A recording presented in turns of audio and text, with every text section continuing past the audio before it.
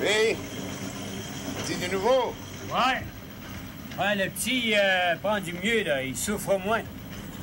Euh, il a même parlé à sa mère.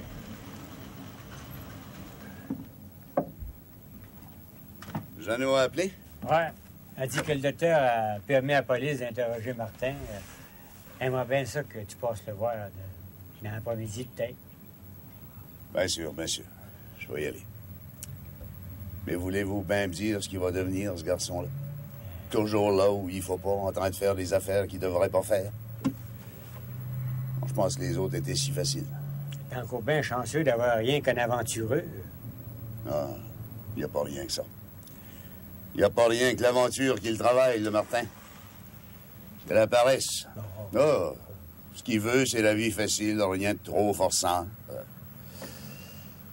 Et pourtant, je l'ai élevé puis traité comme tous les c'est bien, les familles, c'est comme ça. T'as huit enfants, t'as trois enfants, il n'y a pas deux de pareils. Que tu veux?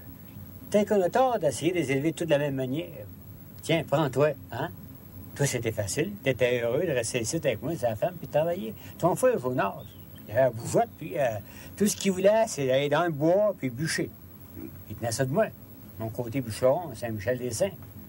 Il a passé 11 ans au lac Saint-Jean. Mon petit dernier, là. Il a toujours donné fourré dans les lits, là. Il a rêvassé, euh, à penser à tout fait à nous autres, en attendant de rentrer au séminaire. Là, il a pris un bon coup de vieux, là. et comme faut, il a eu tout ce qu'il a voulu. Ben, je sais même pas ce qu'il a fait dans la vie. Je sais même pas. Je sais même pas ce qu'il voulait dans la vie. Là, c'est trois semaines, tu sais, il l'avait écrit qu'il s'en venait. Ben, pas de nouvelles.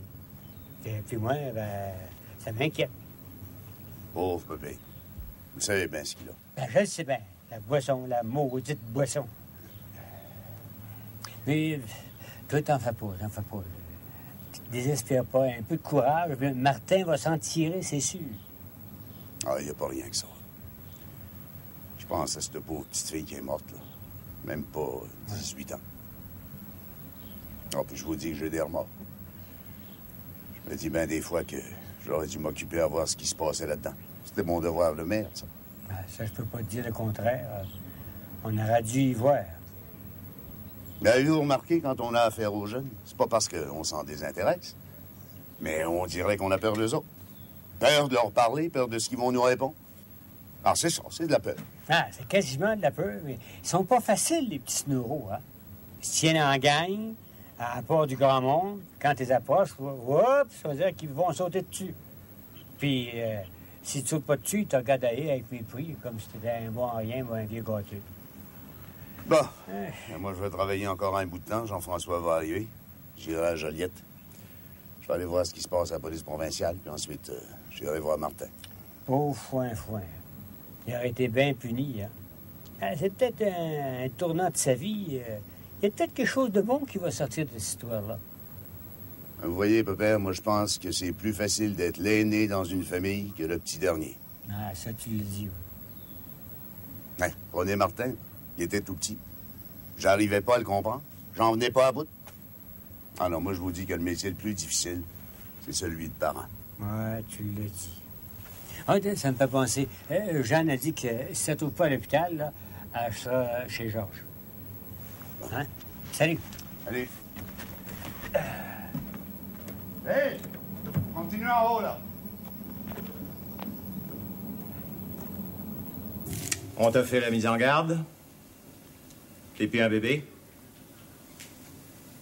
Si tu veux vraiment collaborer avec nous autres, ben c'est le temps. Ça ne sera pas nuisible dans ton cas. Je pense que je vais attendre mon père. Il m'a dit qu'il allait venir. C'est pas la visite de ton père qui va changer quelque chose dans ton histoire, tu sais. Je veux pas te forcer à parler. Si tu veux attendre ton avocat, c'est bien correct. Mais depuis qu'on t'a amené ici, que tu répètes que t'as rien fait de mal, qu'il n'y a rien de ta faute, il me semble que si c'est vrai, tu devrais pouvoir t'exprimer sans faire tant de manières. J'ai peur. J'ai peur de vous autres, la police. Oh, mais lâche-moi ça, hein? On t'a pas traité comme du monde depuis que t'es arrivé? Y a-tu quelqu'un qui t'a bousculé? t'as 23 ans, t'as pas de dossier? Jusqu'ici, t'as été aux études comme tout le monde? On t'a traité comme un citoyen ordinaire. Mais à tu comprends, moi, mon enquête, elle se fait. Elle se complète. Je sais pas si t'en rends compte, mais t'es pas en très bonne position. Parce que vu que t'avais un bail sur cette maison-là, c'est toi qui es responsable de tout ce qui se passait, hein?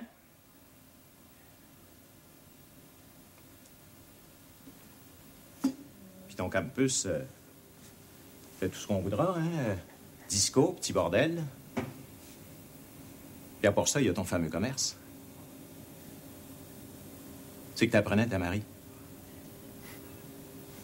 Je suis pas capable de vous le dire. Vous savez bien que je suis pas capable. T'as la protection de la police. Ça faisait juste quelque temps. Raconte pas de blagues, t'en passais au cégep. Au contraire, ça fait deux ans que tu trafiques, mon beau petit pocheur. À part ça, ce que je voudrais savoir avant n'importe quoi, là, c'est qui c'était le gars qui est venu il y a trois jours te chercher à ton campus? Je le sais pas. Je sais même pas son nom. Puis tu sais pas non plus d'où il venait. Je pense qu'il m'a dit qu'il venait dans le bout de Saint-Athanas ou quelque chose comme ça. Mais il m'a pas laissé de nom, ni d'adresse. Il t'a juste laissé de l'acide. Comment tu penses qu'il est rentré en contact avec toi? Parce qu'il m'a dit. Il avait entendu parler qu'il y avait du monde qui se réunissait au campus le soir pour danser. Puis il avait aussi entendu parler qu'il y avait du monde qui, qui fumait un joint de temps en temps. Fait qu'il est venu me voir. À tout hasard. Hey, hey, hey. Faudrait tout de même pas que tu me prennes pour une valise, toi, là, là. Je vous le dis, c'est comme ça que ça s'est passé, c'est vrai. C'était juste pour un essai. Tu sais pas comment il y avait ça, lui, cet acide-là? Il me semble qu'il m'a dit que c'était lui qui la faisait.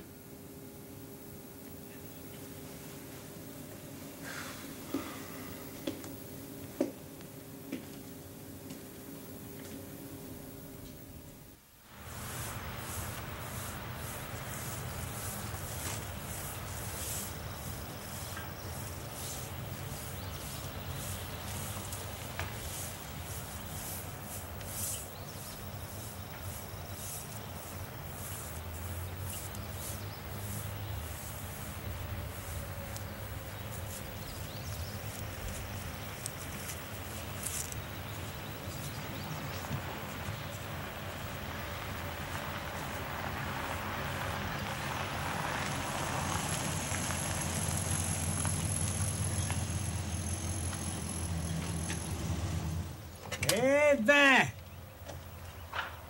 La belle visite! Belle et peut-être de trop. Hein? Je me trouve pas trop glorieux aujourd'hui. Euh, monsieur le maire est là? Euh, non, il est parti à Joliette, il va passer à la police provinciale, puis ensuite il va aller à l'hôpital. euh. Euh, Voulez-vous vous assis? Non, non, non, je vous remercie, Léon, de continuer. Ouais. Euh, j'ai pas envie de grand-chose aujourd'hui. Non, je voulais parler avec Antoine de cette terrible histoire. Euh, euh, comment va Martin? Ben, il va assez mal, là. Enfin, ça s'arrange un peu. Oui. Mais c'est moins pire que la pauvre petite fille qui est morte. Euh, oui, en effet. Je me suis trouvé avoir passé la mort. Pauvre enfant. Euh, Jeanne a dit qu'ils ont bien de la difficulté à rejoindre la famille au téléphone à Louisville. Bien, cette idée là, de, de- de campus, là, de commune, là, on, on aurait dû empêcher ça par tous les moyens. Ben, je sais bien. Euh, il va dire le contraire, il va dire comme vous. euh, puis Antoine est bien désemparé. Oui, mais j'ai, j'ai essayé de, de dire mes inquiétudes, mais personne ne voulait m'écouter. Ah oui, oui. Et le monde, vous croyez pas, monsieur curé, tout le monde disait que vous étiez compté jeune, il le savait d'avance. Hein? Au fond, c'est juste. Je suis un vieil égoïste. J'avais tellement peur de, de faire face à tous ces jeunes gens là, mal élevés, trop gâtés. Mais mon devoir, c'était justement de tenter de les guider, de- d'organiser leurs activités. Ben, C'est toute notre faute à nous autres, parce que c'est tous nos enfants à nous autres. Oui. Il n'y a rien à faire. Regardez, euh, il y a cinq ans, quand les vieux ont commencé à dire que ça ne bougeait pas dans la paroisse, Oui. on leur a organisé l'âge d'or. On bien aurait dû se rendre compte qu'il fallait faire quelque chose aussi pour nos jeunes. Antoine, il dit exactement comme vous. Il faut cesser d'avoir peur d'eux autres, leur parler, puis leur demander ce qu'ils veulent. Le- leur demander ce qu'ils veulent. Pensez-vous qu'ils savent pas ce qu'ils veulent? C'est pas comme ça qu'on va y arriver. Vous avez raison, Léon. De... Je veux plus être négatif vis-à-vis de ces enfants-là. Oui, mais justement, de- dans le cas de, de cette, euh, ce, ce campus, là, il ne s'agissait pas d'enfants. Tous les gens qui allaient là étaient d'âge à être responsables de leurs actes. Ben, c'est ben, euh, euh, mon, mon petit-fils, là, euh, Michel, qui est là de temps en temps, il dit qu'il ne laissait pas entrer ceux qui étaient en bas de 16 ans. Ah bon? Mais euh, pour les loisirs, il faudrait Oui. aller voir ailleurs, alentour. À Saint-Jacques, par exemple. Euh, Martin et Annick qui m'ont dit qu'ils étaient organisés là, sans bon sens. Oui. Ils ont toutes sortes d'activités, des, des clubs de motoneige en hiver, de- des clubs de karaté, euh, l'artisanat, euh, euh, de, de la sculpture sur bois, ils ont tout oui. ça. Oui, bien sûr, mais Saint-Jacques, c'est c'est un gros village, c'est quasiment une petite ville. Ils ont beaucoup plus de moyens qu'on peut en avoir. On peut faire ça à notre mesure, M. Curé. Oui. Il n'est pas dit que notre paroisse ne peut pas avoir assez d'argent, ben, assez de l'intelligence, s'occuper des jeunes. D'ailleurs, de ce côté-là, là, il y en a une qui va nous aider. Oui. La petite fille, là, Père Dandet. Ah oui. Elle dit Oui. depuis que, que ce qui est arrivé, là, Hmm. elle va prendre la direction d'un comité de femmes qui va voir à ce qui arrive quelque chose. Elle voyait les jeunes du campus, elle, euh, Ah. Oui. Ils venaient euh, chez le pain. Elle dit il était pas si tough que ça. Ils se donnaient à des heures de tough, mais il n'était pas tough. Ah. Même qu'elle dit que les, les filles, là, Oui. faisaient pitié des fois. Celle qui est morte, là, elle était belle, belle comme un ange, puis elle avait l'air douce, douce, douce. Oui, comme un petit ange. hein. Et à cette heure, il n'y a plus qu'à prier pour elle. Justement, là, je vais annoncer qu'on va dire une grand-messe à son intention euh, samedi. Alors, je sais bien que c'est pas ça qui va lui rendre la vie. Écoutez, Léandre, il n'y a rien qu'à vous que, que je peux avouer ça, mais je suis vraiment pas fier de moi. là. Je me sens grandement responsable de ce, qui est arrivé. Ce curé, ce que vous me dites là, là, Hmm. si vous le disiez pas rien qu'à moi, Oui. à tout le monde, ça aiderait tout le monde à faire peut-être son examen de conscience, puis à aider à fonder une organisation de loisirs pour les jeunes dans la paroisse. Oui. Vous avez peut-être raison. Je vais y penser, Léon. Bon, je vous laisse. Bonjour. Bonjour, M. curé.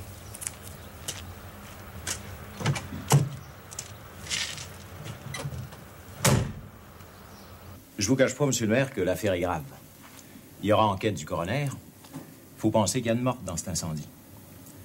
Le commissaire aux incendies nous envoie un commissaire ad hoc. Et le jeune Belval a avoué avoir vendu de la marée et d'acide. La jeune victime d'incendie aurait été à ce moment-là complètement stone. Ça veut dire qu'il va y avoir enquête criminelle également. Ce qui peut mener Eric Belval à une mise en accusation pour négligence criminelle. Comme vous savez, c'est un crime majeur. Il est passible de 14 ans de prison. 14 ans de prison. Mais c'est pas sûr, ça. Ça dépendra de l'enquête. Ben, C'est tout de même pas ce garçon-là qui a mis le feu à la cabane. J'ai pas dit ça. Nous ne présumons rien, monsieur le maire. Les enquêtes concluront, c'est tout. Aimeriez-vous parler à ce jeune homme? Non, non, je le connais pas, je l'ai jamais vu. Non, j'étais venu simplement m'informer. Il paraît que nous allons pouvoir interroger votre fils. Mon fils, ouais. Pas mal amoché, celui-là. Un talon fracturé, une vertèbre écrasée. En tout cas, tout ce qui pourra vous dire à ce sujet-là, quel a été son rôle là-dedans, euh, moi, j'en sais vraiment rien. Ça sera à vous de juger. Voyez, sergent, il y a des gens qui ont l'excuse d'avoir démissionné auprès de leurs enfants. Moi, je sais pas si j'ai pas su m'y prendre avec lui. J'ai pas réussi à le comprendre. Mais je peux vous dire une chose. J'ai fait mon possible. Puis j'ai donné autant de chance qu'à tous les autres. Alors non, soyez pas pessimiste, monsieur le maire. Éric Belval a tout de même un bon point à son compte. Il a eu l'honnêteté d'exonérer ses compagnons en ce qui concerne l'idée du campus et les histoires de drogue qui s'y vendaient. Ah ben ça, c'est vraiment bien. Je m'en rappellerai.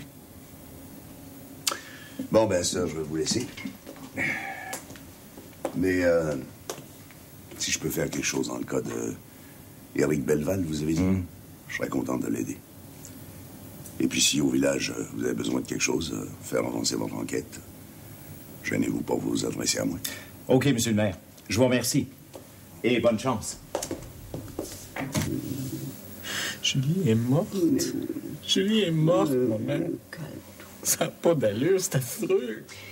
Eh oui, je voulais pas te le dire non plus. Ni hier, ni ce matin. T'étais pas assez bien. J'aurais mieux attendre encore quelques jours. Le policier m'a tout compté. Julie. Julie. Elle était tellement fine. Elle était belle. Calme-toi. Esther est morte. Morte dans le feu. Si j'avais su qu'elle était en haut sur le même étage que moi, j'aurais pas essayé de la sauver. Chut, chut, Non, t'aurais pas pu. Tu pouvais pas rien faire. Toi-même, t'as dû sauter par la fenêtre pour pas être brûlé vif. On est fous. On a fait mourir Julie. Chut, calme-toi. C'est un accident, Martin. Faut pas que tu t'énerves. Mais maman, je pourrais jamais plus penser à autre chose. Julie est morte. Oh, que c'est donc bête. On aurait donc pas dû te dire ça sans préparation. Il paraît qu'elle était stone, maman. Stone. Pauvre petite Julie. Ça pas d'allure. Justement, Martin, tu vois, elle a pas dû trop souffrir. Tu savais comme moi, puis tout le village, on est bouleversé. Tout le monde se fait des reproches.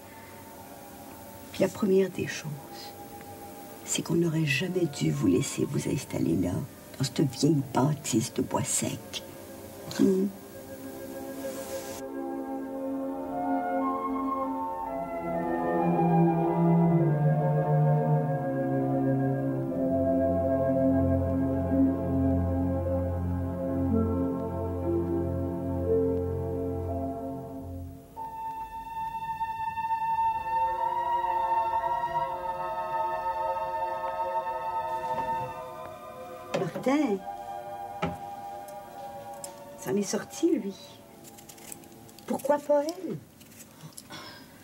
Oh, le lendemain, là, quand j'ai su qu'il avait trouvé des restes, j'en étais malade. Moi aussi. J'aurais dû y aller au campus. moi. Mais voyons. Tu tombes pas de sottise, voyons, Nick. Je me demande bien qu'est-ce que tu aurais pu faire là. Ben, je veux pas dire ce soir-là, maman, là. Mais j'aurais dû y aller de temps en temps. Hmm. Peut-être que je serais devenue l'amie de Julie, puis j'aurais pu l'aider.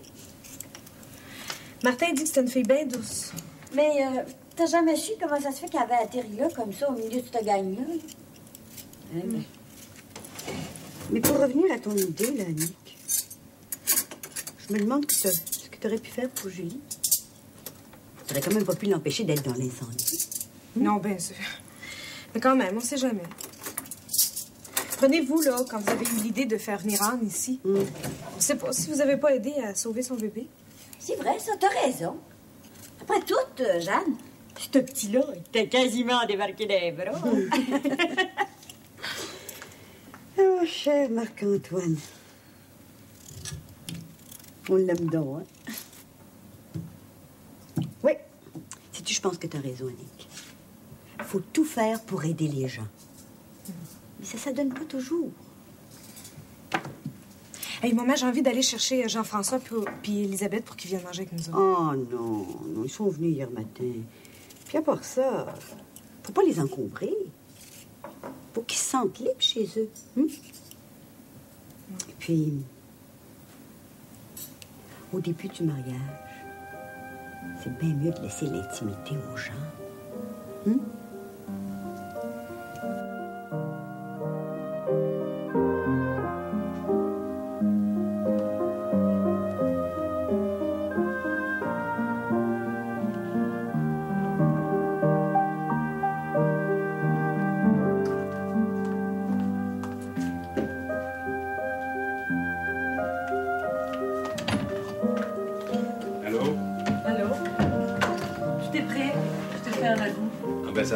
Parce que j'ai une grosse faim.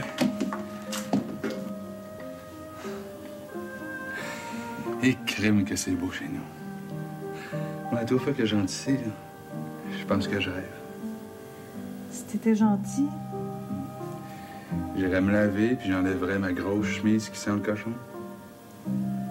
je sais que tu me trouves snob. Ah non, je t'ai dit ça une fois pour te taquiner. Alors, je peux pas dire que t'es bien exigeante. À part de ça, t'as raison. Même que je devrais pas venir t'embrasser puis me frotter sur ton beau linge propre quand je reviens de la porcherie. Ben franchement, exagère pas. J'ai quand même passé ma vie sur une ferme. Je sais qu'il faut que je prenne d'autres habitudes. Puis ça va venir. Si t'es bien patiente, alors j'ai la tête bien dure. Puis d'un autre côté, pour avoir une femme comme toi, Ça vaut bien des sacrifices.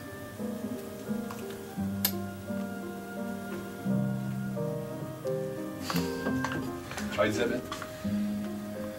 Papa m'a fait dire qu'Annick fait dire une messe pour Julie à soir. Oui, à 7 heures. Ah ben, fais-toi-en pas si t'as pas le temps d'y aller. Je prierai pour deux. Je sais qu'il y avait de l'ouvrage.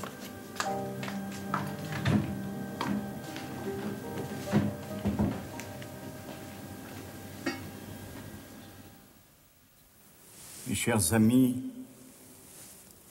je suis étonné, mais bien content de voir autant des nôtres réunis aujourd'hui pour prier. Je suis content aussi parce que c'est une jeune fille de chez nous qui a demandé cette messe spéciale pour prier pour une autre jeune fille morte dans cette maison de malheur. Rassurez-vous, je ne vous parle pas pour jeter le blâme sur la jeunesse de Sainte-Marie des Anges comme je l'ai fait trop souvent dans le passé. Non, mes amis, non. Je veux, au contraire, qu'ensemble, nous fassions un examen de conscience, que nous tirions tous une leçon de cet événement terrible. Car vous savez, cet événement terrible, j'en prends une grande part de responsabilité. Oui, mes amis, oui. Je suis coupable en tout premier lieu parce que je suis votre pasteur et que je n'ai guère donné l'exemple. Nous sommes tous coupables de ne pas avoir su comprendre les besoins de notre jeunesse, leur désir de regroupement et de distraction. Je veux que vous sachiez que je prie Dieu que grâce à cet enfant sacrifié, il me pardonne. Je lui demande aussi qu'il m'accorde suffisamment de temps pour expier mes erreurs à l'égard de nos jeunes.